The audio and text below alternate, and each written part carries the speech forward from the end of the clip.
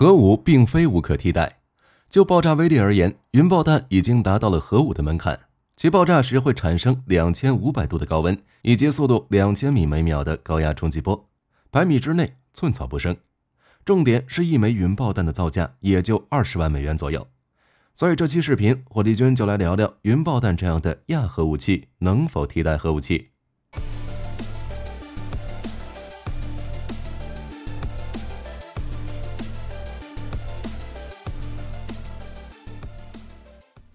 云爆弹也被称为燃料空气炸弹，顾名思义，可以引爆空气。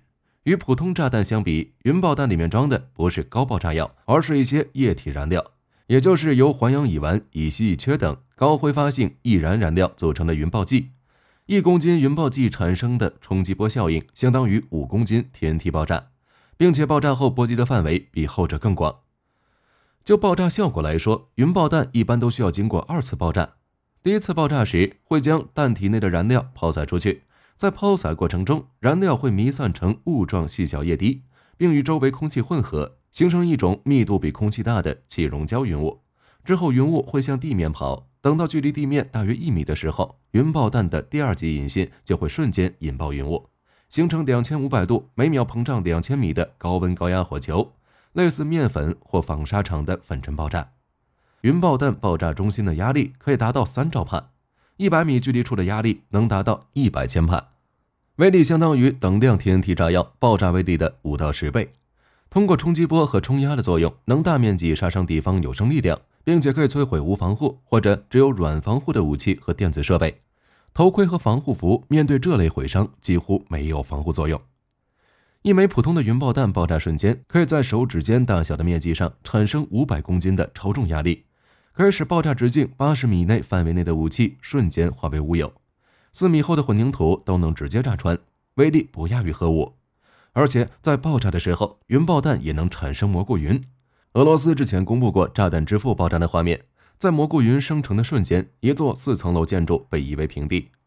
除此之外，云爆弹爆炸时会大量消耗周围的氧气，使周围的人员严重缺氧。就算是三防性能良好的坦克，也会因为缺氧导致发动机熄火。如果敌方在远处的坚固工事内侥幸躲过了冲击波、高温以及缺氧带来的伤害，还要面对超高压带来的问题。爆轰波会在掩体中急速传播，经过反射后扩大，结果还是跑不了。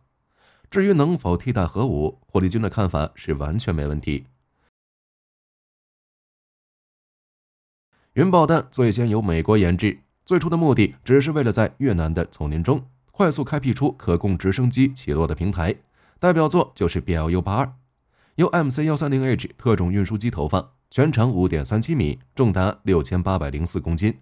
一旦被引爆，可造成一个直径二百米的真空杀伤区，将周围的草木烧成灰烬。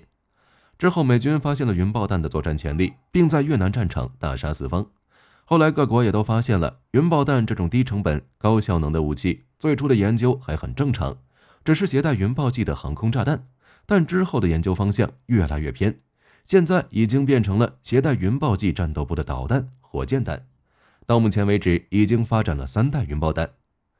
第一代的云爆弹诞生于二十世纪六十年代初，最典型的作品就是美国的 CBU 五五、BLU 七二，以及俄罗斯的 ODAB 五百 PM 等。这类炸弹只能采用直升机或者低速飞机投放，采用两次起爆技术。第二代产品从一九七二年开始研制，重点是提高投放速度，也就是将低速飞机投放改为高速作战飞机。投弹时，飞机的飞行速度可以达到时速八百三十公里。其代表产品就是美国的 CBU 七二炸弹，直升机投放的 MADFAE 级数炸弹，以及 BLU 七三、BLU 七六、BLU 九六等炸弹。不过需要注意的是，一九六零年代的第一代与一九七零年代的第二代都需要两次引爆。武器系统的可靠性偏低，于是第三代的云爆弹各国就对其进行了改进。目前现役的云爆弹大多都是一九八零年代的第三代。从二十世纪七十年代中期开始，美国、俄罗斯等国家就已经开始研究第三代云爆弹，并顺利将二次起爆改为一次起爆，利用压力或化学方式扩发燃料，一次引爆就能完成杀伤，同时取消了减速伞装置。简化弹体结构，引爆装置的改进也可以降低制造成本和工艺难度，战术灵活性也有所提升。投放方式也有所改变，不仅是空中投放，也可以由地面装备投射。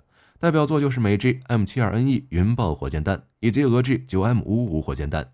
之后还引入子母弹和制导技术，提升了攻击精度和杀伤威力。其中，美国第三代云爆弹的爆炸威力已经达到了同等质量 TNT 炸药的九到十一倍。美军的 GBU-43 云爆弹威力相当于十一吨 TNT。俄罗斯的 ODAB 500 PM 云爆弹，也就是炸弹之父，爆炸威力相当于四十四吨 TNT。俄军曾表示，炸弹之父会取代俄军的小型核武。不过需要注意的是，从功能上看，核弹和云爆弹是不一样的。核弹不是用来打仗的，而是确保互相毁灭的。所以战略核武器还没有替代品，没办法用云爆弹搞战略威胁。至于战术核武器，那就没问题了。可以说，当前已经被替代了。因为精确制导技术的存在，一枚云爆弹直接命中的威力比战术核武器更大。就制造成本而言，云爆弹与核弹相比，那就是九牛一毛。据美国空军的公开信息。美军的 GBU-43 云爆弹单枚造价大约为十七万美元。重点是云爆弹可以在战场上使用，目前没有任何国际公约禁止使用云爆弹等类似的武器攻击军事目标，而且作战方式相当灵活，威力强还便宜。云爆弹在战场露面的机会很多，在海湾战争中，美军云爆弹的作战效果不亚于爱国者和战斧，既可以由飞机投放，也可以通过火箭炮发射。并且大多都是子母弹结合的方式。美军在海湾战场中使用的 GBU-55B 型云爆弹，爆炸后其内部的一个子炸弹就可以形成一个直径大约十五米的云团，二十米区域内寸草不生。在一九九九年的车臣战争中，俄罗斯部队就使用了这云爆弹。在二零二二年的时候，俄军在乌俄战场上使用了 ODAB 五百 PM 云爆弹。俄军在第二次车臣战争以及叙利亚内战时就已经使用了这款云爆弹，颇受好评。但是就技术水准而言，ODAB 500 PM 依旧是第一代云爆弹，低速投放，两次起爆。虽然爆炸场景比较猛，但是不适合用于攻坚打击。顺带一提，云爆弹也能用来扫雷，其爆炸时会产生巨大的压力。一个子母式云爆弹的子炸弹产生的超压，就可以将直径三十米区域内的地雷全部引爆。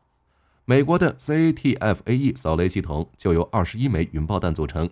进行一次发射就能开出一条宽二十米、长达三百米的通道。不过需要注意的是，虽然云爆弹的优点很强，但是缺点也很明显。爆炸效果会受天气影响，如果遇到大风、大雨，气溶胶云雾就会被吹散，爆炸效果直接减半。如果燃料与空气混合的饱和度不够，甚至还会发生哑火的情况。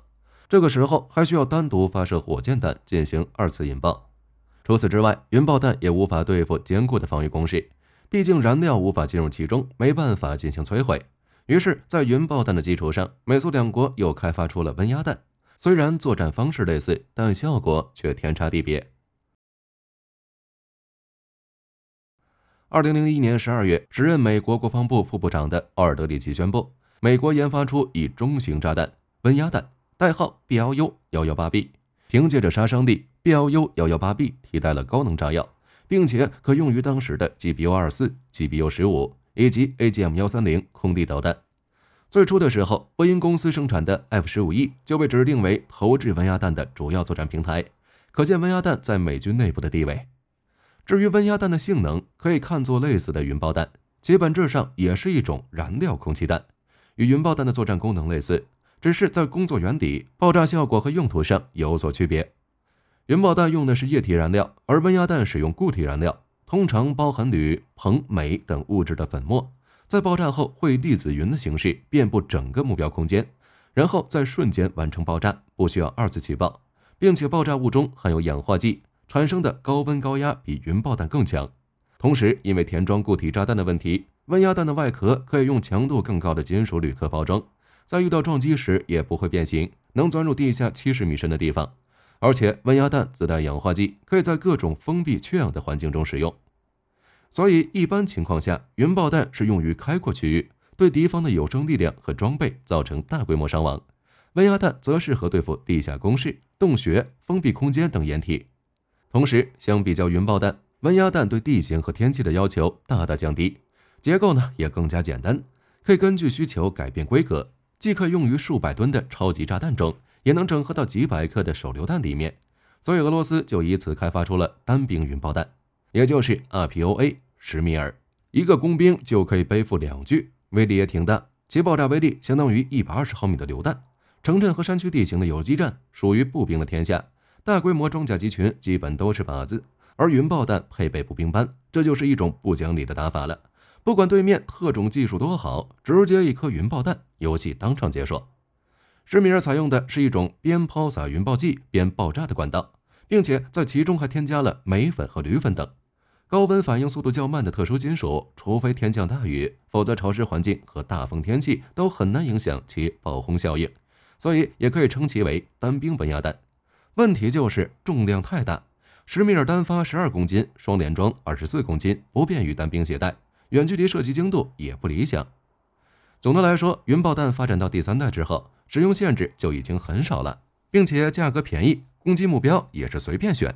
未来可用于空海一体战，对海上目标作战时，可以有效摧毁舰载雷达、武器系统等，并且对敌方舰艇内的人员产生杀伤效果。